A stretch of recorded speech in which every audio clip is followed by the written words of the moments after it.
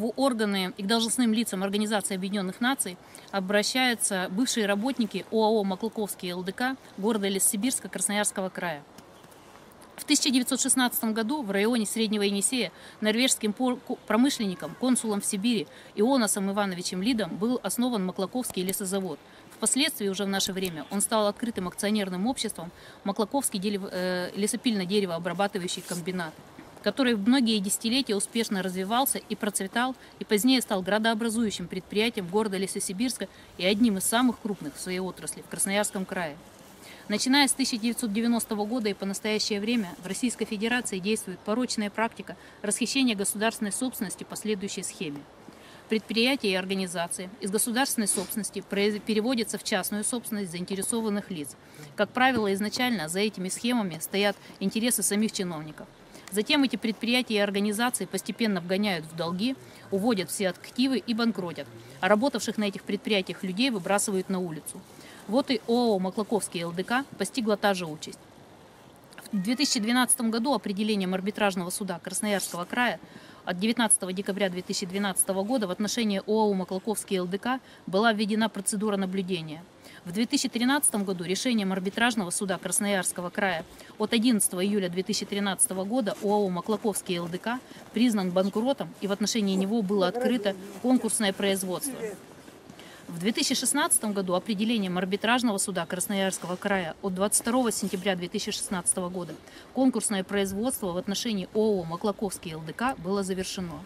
Однако в нарушение норм международного права и Конституции Российской Федерации работники ООО «Маклаковский ЛДК», не получив своих заработных плат, пособий и иных платежей при увольнении, были фактически выброшены на улицу, в результате чего многие семьи остались без средств к существованию.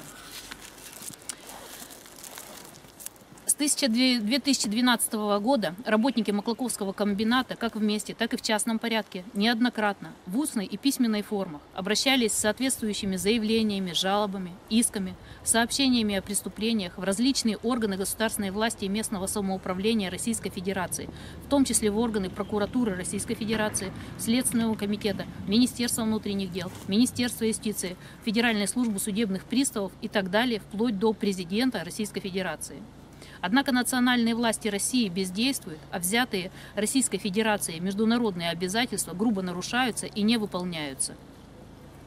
В связи с чем бывшие работники Маклаковского ЛДК вынуждены обратиться в очередной раз в соответствующие органы Организации Объединенных Наций и к их должностным лицам с просьбой по настоящему сообщению в установленном порядке в, со в соответствии с вашими мандатами принять неотложные меры.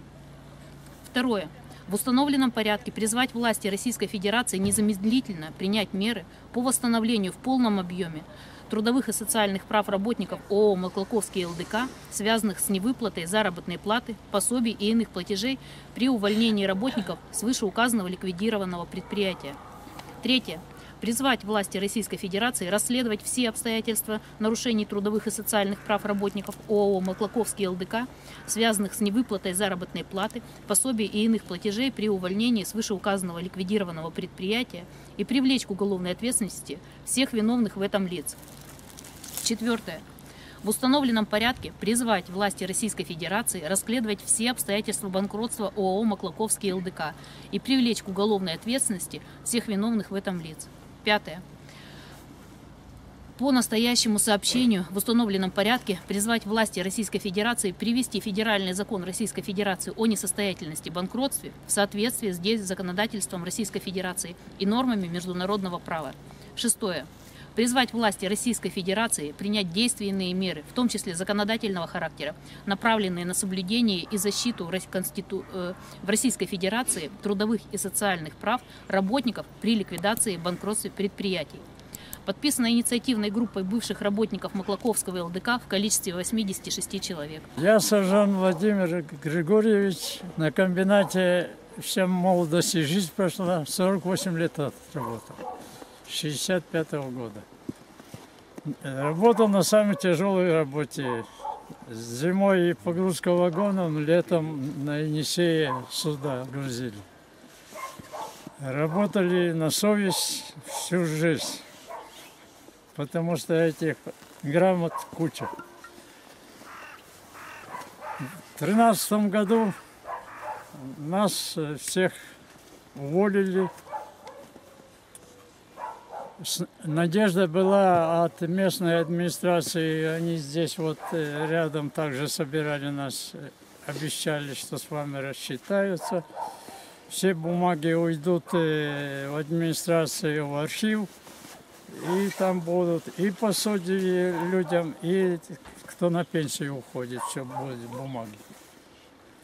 Когда мы сунулись в архив администрации, там вообще ни одной бумажки. Они здесь вот застряли, их специально уничтожили. За 19-20 год э, мое хозяйство, я заведовал крановым хозяйством, 25 единиц кранов срезали металлом, продали. Там хватило бы со всеми рассчитаться. Но куда-то эти деньги ушли кому-то. Даже, наверное, не заплатили э, в налоговую администрацию с этих денег, которые они за металлом получили. Ну и что можно еще сказать? В наглую с экранов летит со всех э, э, демократия у нас, а чиновники то ли глухие они, то ли какие. На рабочий класс никто внимания не обращает. В итоге получается следующее. Мы ежедневно с утра и до вечера работали и зарабатывали деньги для содержания наших семей.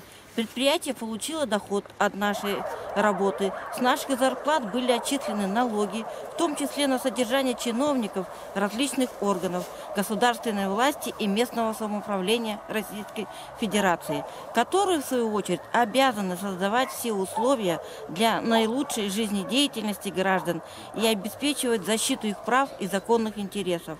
Однако плоды нашего труда достались всем, кроме нас, самих работников ОАО «Маклаковский ЛДК». Мы и наши семьи фактически были брошены государством на произвол судьбы. Во-первых, я хочу сказать большую благодарность тем людям, которые этим занимаются, нашим юристам. И я на комбинат пришел после службы армии в 1975 году. Здесь проработал всю жизнь. Вся моя трудовая деятельность прошла здесь.